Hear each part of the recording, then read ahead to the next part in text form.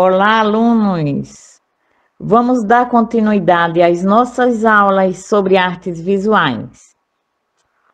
E falando de artes visuais, estamos falando de desenho, de pintura, de tecelagem, além de outras, pois o termo artes visuais é bastante abrangente.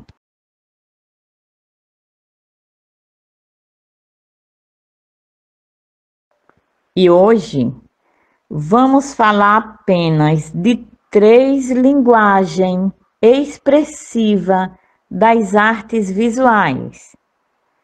Vamos falar do desenho, da pintura e da tecelagem.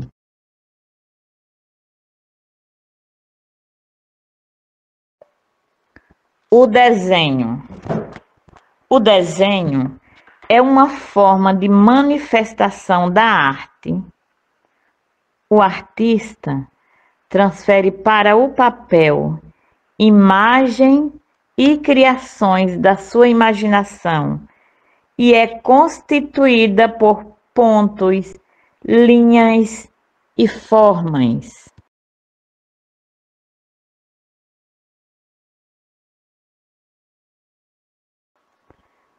Pintura.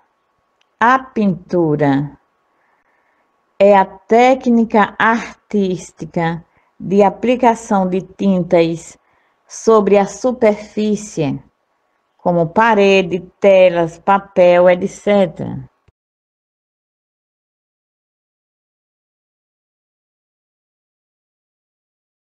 Então, vamos ver uma tecelagem feita com fios.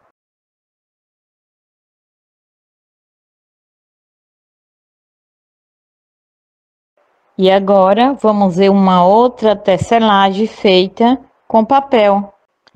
Então, gente, acabamos de estudar sobre três linguagens expressivas das artes visuais, que foi a tecelagem, o desenho e a pintura.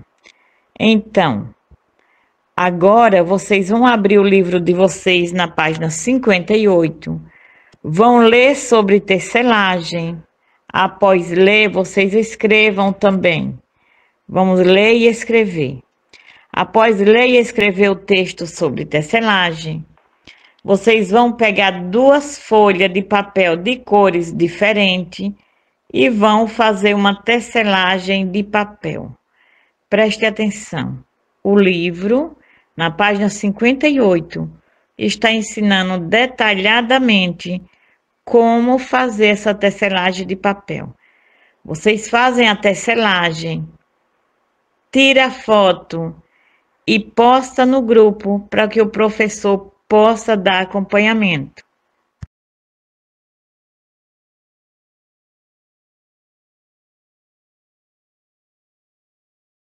Oi, pessoal.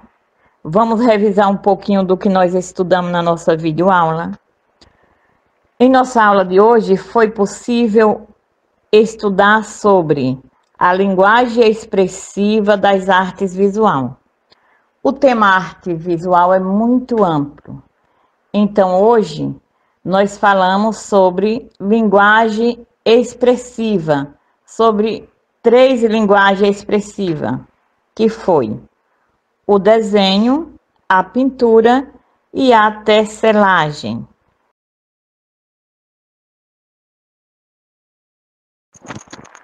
Olá, gente! Em nossa aula remota de hoje, vamos dialogar sobre uma forma de expressão da arte urbana.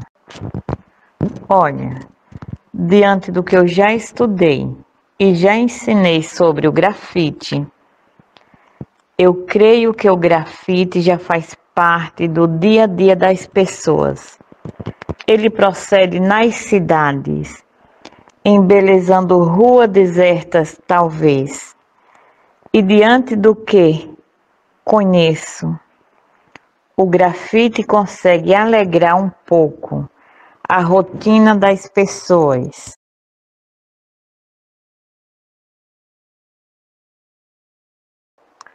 nas cidades, as pessoas levam a vida muito corrida para se manter, para pagar suas contas, talvez, e para consumir.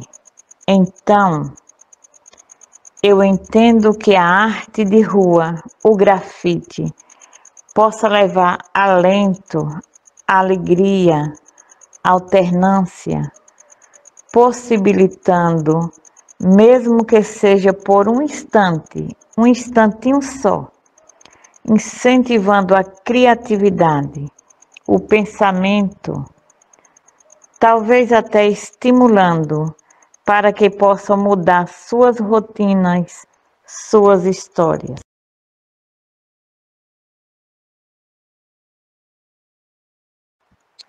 as artes visuais. As artes visuais, as artes de rua, a poesia, a música, têm o poder de mostrar possibilidades abertas, mostrando que a interpretação, a forma como as pessoas interpretam o que está ao seu redor tem um poder enorme, grande demais. Então, vocês também pensam dessa forma? Podendo até fazer com que as pessoas observem suas ações antes de atingir ou agredir outras pessoas a arte tem o poder de expulsar os pensamentos ruins, tirando das pessoas as incertezas que lhes são impostas pela sociedade.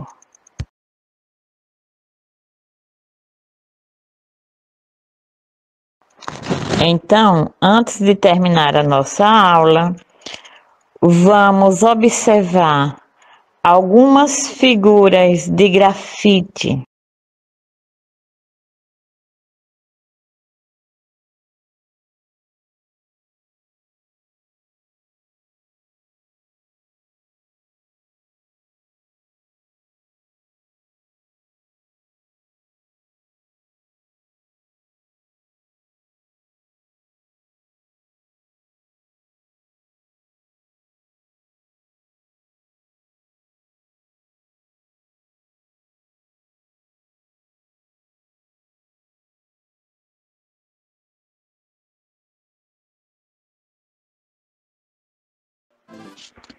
Olá, gente.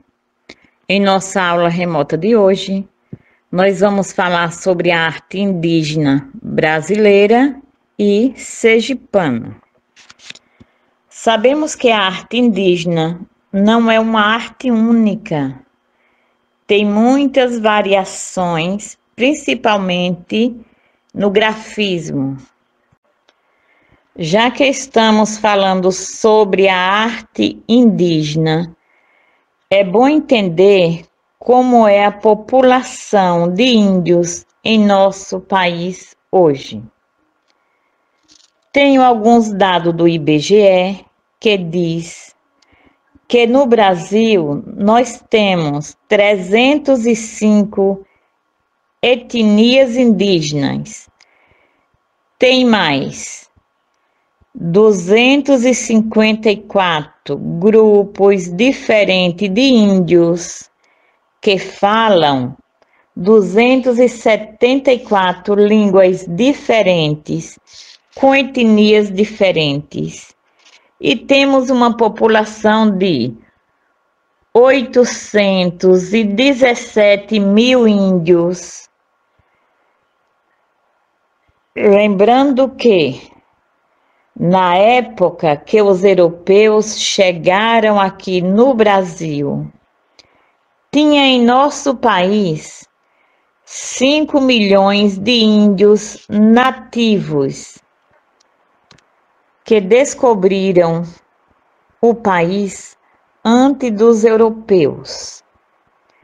Então, gente, Isso significa que quem descobriu o nosso país não foram os europeus, porque quando eles aqui chegaram, já encontraram 5 milhões de índios nativos que já tinham descobrido o nosso país e aqui viviam.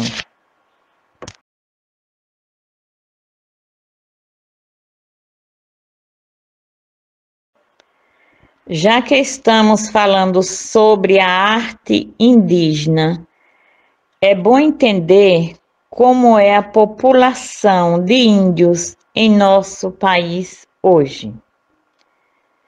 Tenho alguns dados do IBGE que diz que no Brasil nós temos 305 etnias indígenas. Tem mais 254 grupos diferentes de índios que falam 274 línguas diferentes com etnias diferentes. E temos uma população de 817 mil índios. Lembrando que, na época que os europeus chegaram aqui no Brasil, tinha em nosso país 5 milhões de índios nativos que descobriram o país antes dos europeus. Então, gente, isso significa que quem descobriu o nosso país não foram os europeus, porque quando eles aqui chegaram, já encontraram 5 milhões de índios nativos que já tinham descobrido o nosso país e aqui viviam. Então, agora nós vamos falar um pouquinho sobre a população indígena em nosso estado. Então, gente, prestem bem atenção como está a população de índios hoje. Vejam só. Na época do descobrimento do Brasil, as terras de Sergipe eram habitadas por várias tribos indígenas, além dos tupinambás e caetés. Nas terras sergipanas existiam cerca de 30 aldeias pertencente ao grupo Tupi. Atualmente, a única tribo existente em Sergipe é a tribo Chocó. Essa tribo Chocó vive nas aldeias e na ilha de São Pedro, em Porto da Folha, aqui em Sergipe.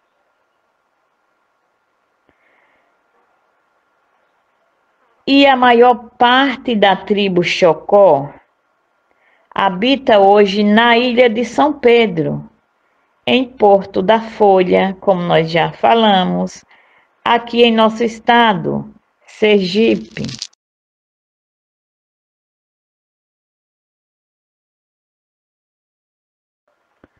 Agora, nós vamos falar um pouquinho sobre a cestaria dos povos indígenas. Cestarias dá esse nome a essa arte, porque a arte que eles têm de fazer cestos, cestas. Pois é, o termo cestaria nomeia técnica de criar objetos por meio do traçado de elementos vegetais flexíveis, flexível o semirrígido.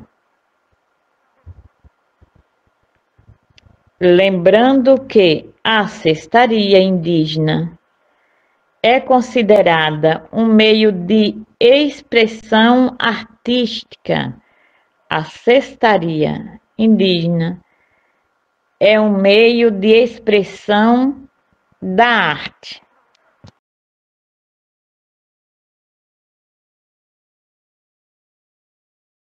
Então, agora nós vamos ver um meio de expressão artística e indígena chamado rabo do pacu. Então, gente, na fronteira com a Colômbia e a Venezuela, existem dezenas de padrões de traçados na cestaria, formado a partir de diferentes combinações de cores de elementos gráficos. Vamos ver alguns exemplos.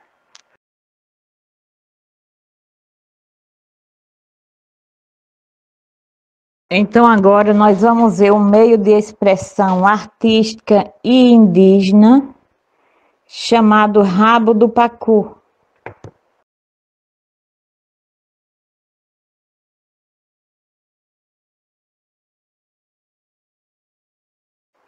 Vamos ver mais uma expressão da arte indígena de nome desenho da carapaça, que é um tipo de besouro.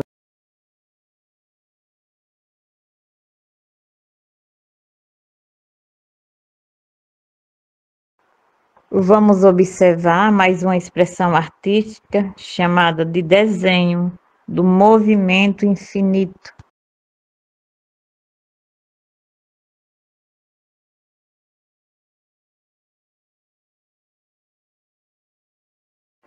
Vamos observar mais uma expressão da arte indígena de nome pegada de onça.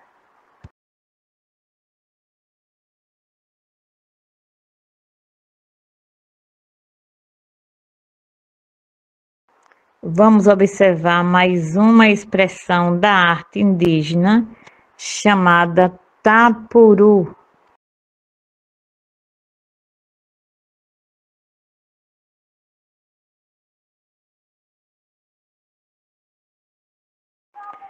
Mais uma expressão da arte indígena de nome Desenho das costas de um besouro.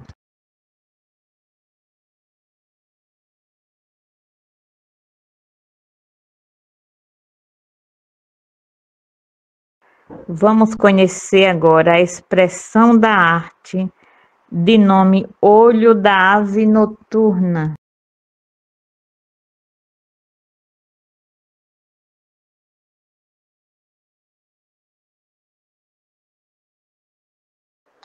Vamos observar mais uma expressão da arte indígena de nome Pegada de Maçarico.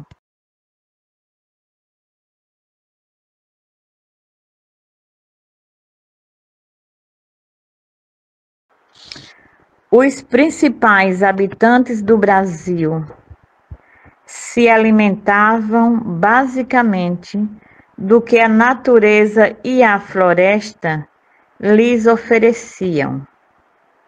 Se alimentavam basicamente de mandioca, macaxeira ou aipim, milho, carne de caças, peixes, raízes, frutas silvestres, palmito, castanha,